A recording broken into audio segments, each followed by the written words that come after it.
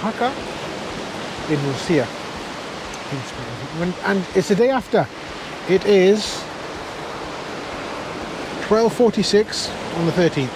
And so we've gone out and last night what happened? Why couldn't we record last night? Um, everywhere shut.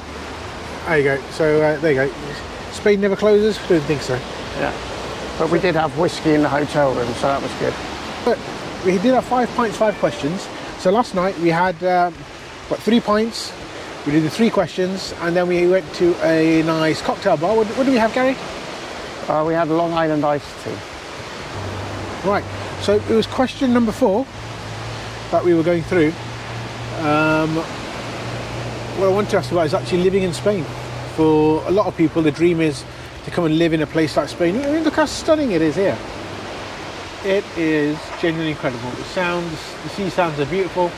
And when we come here, a lot of people are on holidays to places like Mojacar, or it could be uh, could be Bene, it could be Benidorm that way, or it could even um, be down in Malaga. That wherever it's going to be, Spain's always quite a desirable destination. So, so could you tell me, uh, number one, how did you get here, and number two, um, what's it like to live here, the realities of it, and uh, work here as well? Yeah, so uh, basically my parents came out here first and uh, they wanted to, well, I think mainly my dad wanted to come to Spain because he used to be a truck driver and he used to do Spain quite a lot with the trucks. So he liked Spain, so I think my parents decided it would be nice to retire to Spain.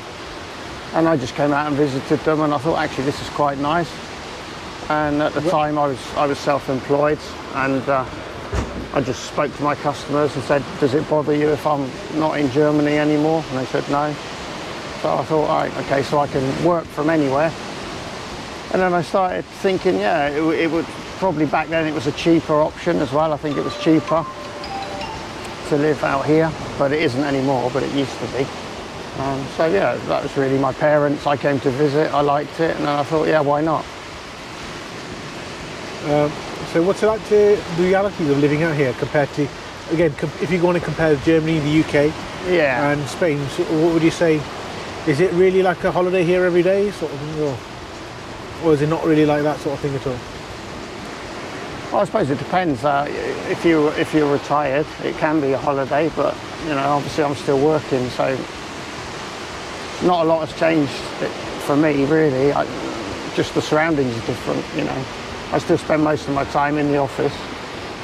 Uh, I don't spend a lot of time outside on bikes doing fun stuff. So for me, it's not really like a holiday. It's just where I where I am, and. Uh,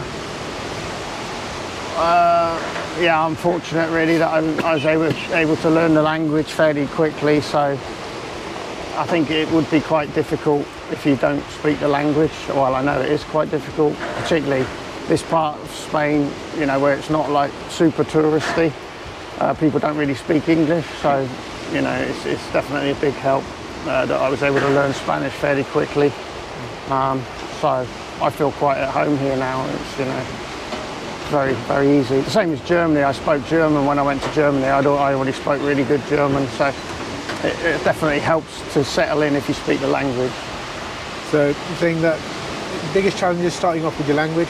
What about the culture? I mean, what's the differences for you? The things that stick out to you, things that were easy.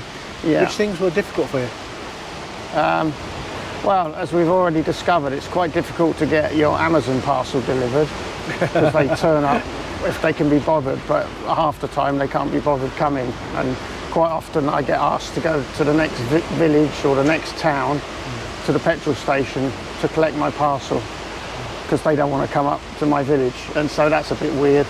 Um, but you know that because we met a lady in the shop who was having that same issue earlier on. Um, but in general, I like it. It's um, I like the relaxed vibe really. I mean, it's it's a nightmare when you first come here because you know nothing happens on time. It's like you're expecting things to happen at a certain time and they don't. Um, but when you when you learn to go with the flow, it's all right. I like you know. It's never life and death. You don't need things immediately all the time. Okay. So, um, what things w- would you say, apart from things like your daily things, what about things like administration, or even like Mm. get paying your bills? Is that quite, uh, or, you know, your daily milk things like you know, Yeah. you getting a pint of milk? Yeah. Mean, what, what's where you live, and what's the what's that like? Is that something that's quite easy, or is that something that's Yeah. just like the same as home? Nip up to a corner shop or a supermarket, or Um, well, we have got a little supermarket in the village, but um, you know, I, I just go to the larger one out of town, um, which is about a half-hour drive. Um, and then there's a big supermarket which has got everything. So yeah, that's not a problem. You know, obviously you need transport. Um, if you haven't got transport, you have to shop in the village, which means you have to live with whatever selection of products they have in the village shop. But Do you, do you miss things from home, like uh, being able to nip out and get a trifle, or going out and getting a bag of fish and chips, or you getting a kebab, or No, not really. Even like chocolate. Do you, do you Yeah. miss those sort of things? Or? No, because I mean, I didn't have any of that in Germany, and I was in Germany for 13 years. So I just got used to not having the stuff that I used to have. So you know, that's been the same here. I don't, I don't, I don't buy stuff in, in British supermarkets or anything. I just buy normal Spanish fare. And then what about the cost of being here compared to being Yeah. at home? I mean, even like now, we just paid about uh, 20 quid for two breakfasts. Mm. Um, I suppose if you consider where we are, that's quite reasonable. You're sitting on the big beachfront having uh, two giant English breakfasts for nine euros each. Yeah. And then then we add your cups of teas and things in. Basically, you're looking about you know, 10 a person. So even that 20 quid for a breakfast, um, it's still quite expensive. You can go some places at home and pick things up for a fiver a plate, but Yeah. where we are, I mean, what about the cost of things here? Do you can find it, you said Spain has become quite expensive. Yeah. Uh, can you Yeah. tell us about that? Yeah, well, since I've come here, everything has got a lot more expensive. And, and the things that, that are in Spain that are expensive, particularly the things like mobile phones and uh, internet, uh, home internet, things like that, because there's a lack of competition. So you don't, they don't have much price pressure to do a cheap offer. So like, you know, my mobile phone contract, my internet contract that I used to have was way more than I would have had to have paid for the same in Germany or in the UK. So the stuff like that, uh, electricity's always been very expensive here. So yeah, Okay, what about wa- water and gas? Is that similar? It's quite cheap or is it um, yeah, water I don't, I don't pay for. Um, I've got a meter, but the landlord covers the water, so I don't know. But yeah, I imagine that's not really super expensive. I think one of the biggest things is electricity, telephones, internet. Those those are things that you can get a lot cheaper elsewhere. I'd say. Um, shopping, you know, some shops are cheaper than others. So if you if you want to save money, you can shop in certain supermarkets and avoid others. But uh, yeah, in general, um, I wouldn't say Spain was now cheaper than Germany. Certainly, as I remember Germany, I'd say they're on about the same level now. Okay. Right, uh, should we start making a little walk back and we can do some walking and talking? Right, let me get my little cap on. Stick that in the pockets. Uh, there you go. I can, I can see a bit of Mojacar. There you go. People playing the beach on the far end.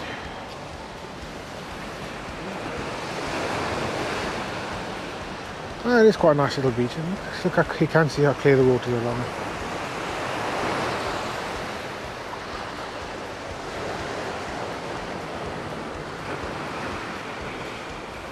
I definitely wouldn't mind living up there. I think that's that'd be quite nice.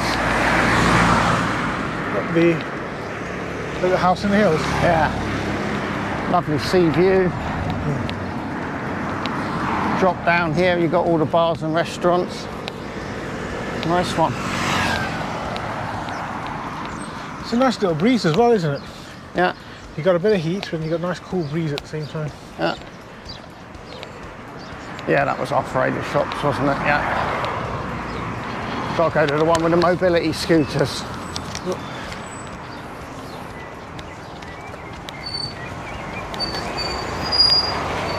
Here's the buses, so uh, you are, probably get. Yeah. There you go. Plenty of buses here. Also, how come they, they, they, they've got these giant bins everywhere? I they? Where? No, like they got the big bins. Oh yeah. Mm. So they tend to do singular collection, so you've got to go put your rubbish there. Yeah, that's that's why Ruby followed me home from the bins because I had to walk to the nearest container, which was nowhere near my house. So I threw my rubbish away, and then she followed me home.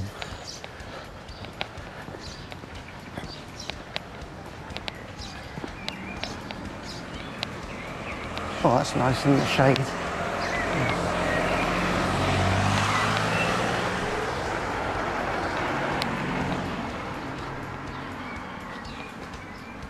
So now I've got the last question for you. Yeah.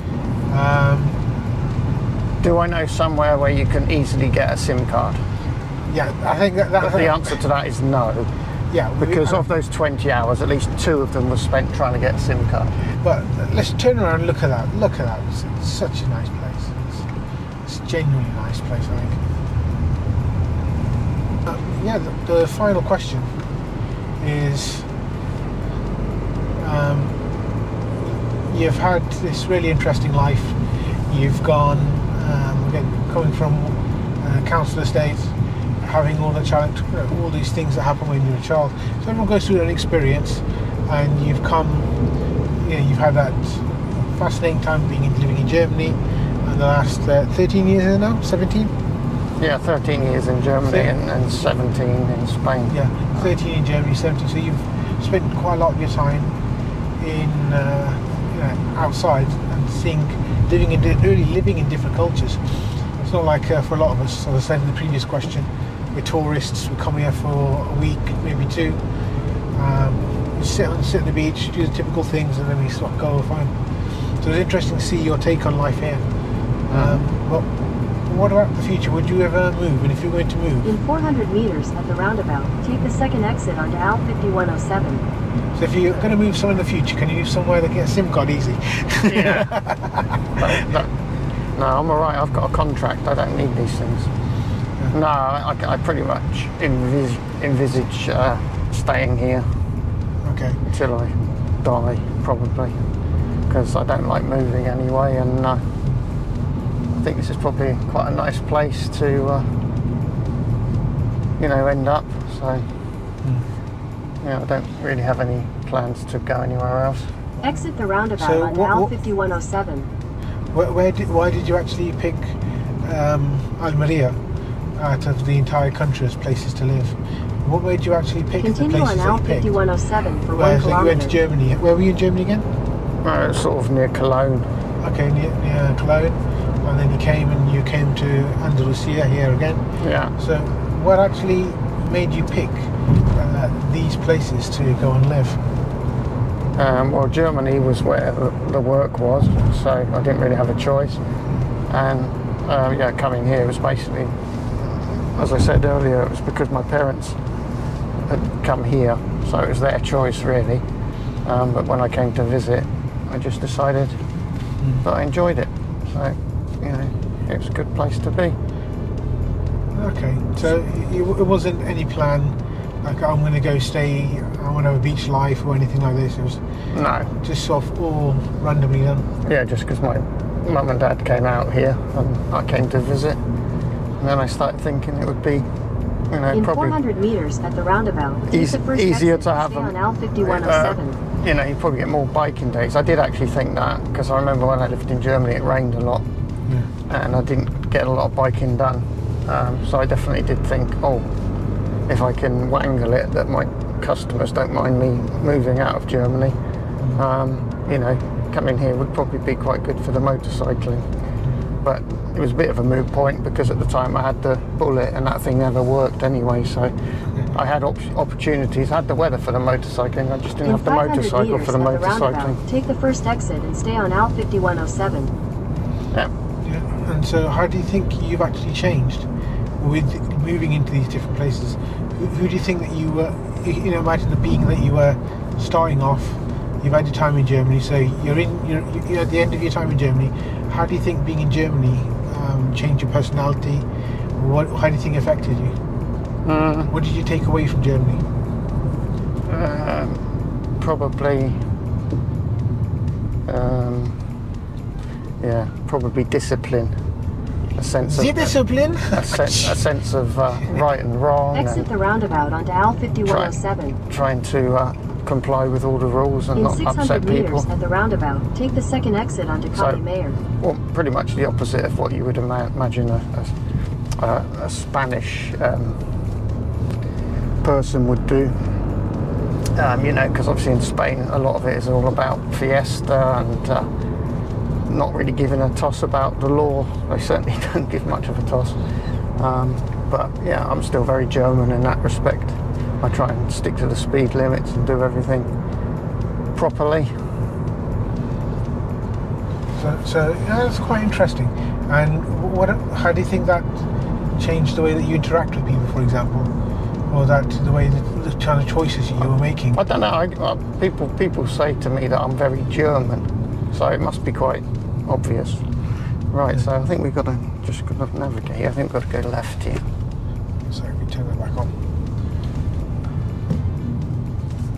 There we go. In 150 meters at the go. roundabout, take And the third exit for, onto for you coming Turn. into Spain, how, how would you say? What do you think? What, what do you think uh, the actual move to Spain uh, did for you? How do you think that really changed or affected you? Or did it, or even at all? Mm, yeah, probably not really. In 200 meters at the roundabout, continue straight to stay on What do you think Carretera that you- Like, well, yeah, but I mean, as I say, people in Spain often think I'm. People in Spain often say I'm very German, so I think I changed a lot in Germany. Yeah. and became quite German. But I don't think I've changed at all since I've been in Spain. I've just carried on really. I've not. Yeah, I don't think I've become any less German. With the UK, I mean, how is it? It's Yeah. the place you started off from when you- left, and Uh, um, how is the place? How do you perceive and understand or contextualize your home, the place you left? Um, let's start off with when you were in Germany, you left Germany. What was your perception or imagination of the UK? I mean, was it? Did you still see it as your home, or was it more your past, or um, was it just Yeah. just another place, or what was it? Was it something like dead important? yeah, I think by the time by the time I left Germany, uh, the, you know, the UK was well in my past. Um, at the time, my parents were still there, so I did go and visit. Um, but yeah, I'd say by the end of my time in Germany, had no uh, particular relationship to the UK other than for as long as my family was there, you know, visiting family sometimes. But um, once my parents came out here, um, I think I went back to the UK once just on a holiday. Um, so, Okay, so I mean, you have to bear in mind, I've spent more years abroad than I've spent in the UK. I lived in the UK till I was 23. And then after that, you know, I've been in other places. So, Uh, Have you, have you, have you travelled much to the UK? Have you done a, li- the classic things like the Landing John O'Groats or your coast to coast or um, No. Have you done any any of those?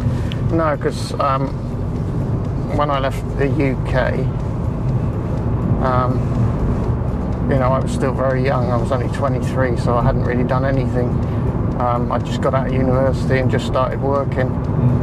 So I haven't done any of the, the typical UK things really. I think for a lot of people, you're in quite a, a special, unique position. Quite an, a lot of people might be quite envious. Um, you're you're single. You have your life. You've got some really nice bikes. You're living in a beautiful country in the world. You've got a gorgeous dog. You've got your fa- you got your family near. You've got your parents, your mum nearby. Um, what what do you want to do in the time that you in the next couple of years? in the short, medium, and long term? I mean, is there any places you want to really see, or any bikes you really want to buy, or are there any adventures or the, the places you want to go to? Hmm. Um, Exit the roundabout onto A352. I want to definitely do some bike trips. Continue on A352 Um, for 5 kilometers. Just wait for this woman to get out of the road. Um, yeah, I want to do some bike trips. Um, whether that means putting Ruby in into kennels or leaving her with a granny, I don't know. Um, but yeah, definitely I want to do some trips on my bikes because that's what I actually got them for originally. But uh, yeah, the whole Ruby situation at the moment precludes me going away for any length of time. That's about it really in terms of plans. Um, and yeah, in terms of bikes, I'm happy with the bikes that I've got now. So I think I'll just get, I probably will get a bike in for the channel at some point. So probably a third bike, just a bike that's of interest to a lot of people. But um, But the, your channel's got economical rides, and you've told us how. yeah, Um, you start off because you want an economical ride. Would you ever consider buying something that was a bit more pricey, just for just so you can tick that bike off your list? Would you Yeah. ever get a, a in an un, in uneconomical bike? no. Is that going to happen? Let's have a look. Yeah, no, I've, I've ruined myself, definitely, because I'm absolutely convinced that there's no need for it. Spending money for something that I don't need. Um, so, no, unfortunately, I can't envision me ever buying a nice bike, a dream bike, because I'd just be like, well, I can't justify the expense. It's just a toy. There's no no reason why you need to spend that much money on something that spends half half its life parked in a garage. Um, so no, I like my motorbikes cheap and cheerful, definitely. well, um, I want to say thank you uh, for yesterday and today, spending these two days with you. Yeah, thank you. It's been Uh, good. Yeah, it's been a lot of fun. I think we've had a lot of chats off camera. and we've been doing this non-stop for the past two days. But um, yeah, I want to say thanks again. Um, Yeah. a lot of fun. And this was uh, Peaks Biker with Economical Rides um, on the five beer, five questions. I think we're, about, we did a quote, didn't we? Yeah, we just about got them in. Yeah. Yeah. Well, thanks again. I hope you really enjoyed it. Uh, take care, ride safe, and stay curious. curious.